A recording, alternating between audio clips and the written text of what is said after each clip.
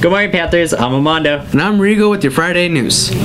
Today is the National Day of Silence. This is a day to fight bullying, name calling, and harassment on our campus. If you'd like more information or want to come show your support, please drop by the GSA lunch table outside the cafeteria today. Attention students, we took the ASVAB. The results are in. Please see Miss Long during break, lunch, or after school for your results. If you have not picked up your Panther rewards for the fourth quarter, please see Miss Haygood in the front office by Thursday, May 4th. This will be the last day to pick them up. Panther Reward raffle tickets are due by Thursday, May 4th. Please turn them in with your name and student ID number to the raffle drum in the counseling office by Thursday, May 4th. Tickets will not be accepted after then. No exceptions. If there are any junior or senior students interested in pay, in a paid summer position working at Pacheco High School, please submit a letter of interest to Miss Salinas or Miss Gino.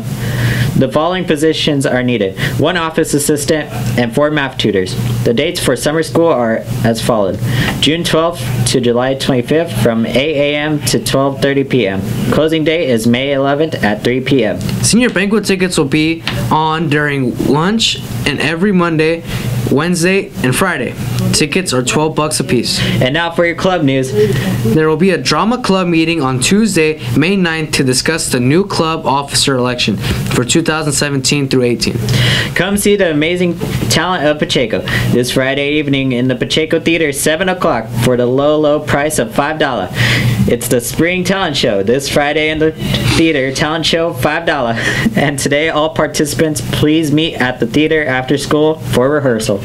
Attention, all new Spanish Honor Society members. $5. The introduction ceremony. Oh, wait, wait, don't call them cut it. Three, two, one.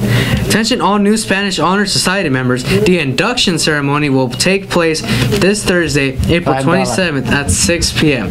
Please report to the theater on time. And now for your sports news. Want to be a cheerleader next year? You want to be a cheerleader? Heck yeah. Me too. Tryout packets are available now in the front office and are due back by April 28th. You must have a current physical in order to participate in tryout in our clinic. Tryout clinic. If you have any questions, contact Coach Moore. That's it for today. Roar Panthers!